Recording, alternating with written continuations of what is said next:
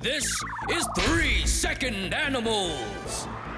The game show where you have three seconds to draw one animal masterpiece. Today's animals inspired by Luca from Kingdom Force. Now let's meet today's artists. Artist number one, it's Tony.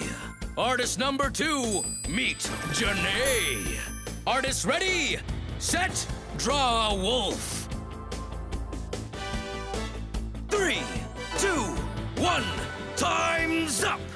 Let's see those masterpieces. Wow! Yours looks like a wolf. That's a wolf head looking right at you. Wow! How'd you have time to a moon? I, I did a moon real oh. quick. Wolves howl at the moon. Oh! Ow! And who's making that noise? This little guy right over here, this happy, smiling critter over here, is going, Oh, I love winning this competition.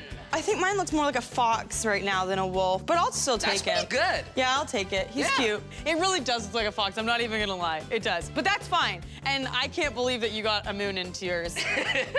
got the big fluffy ears going, the small little beady eyes.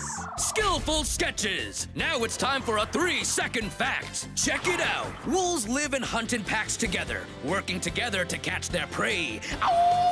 Catch you next time on Three Second Animals.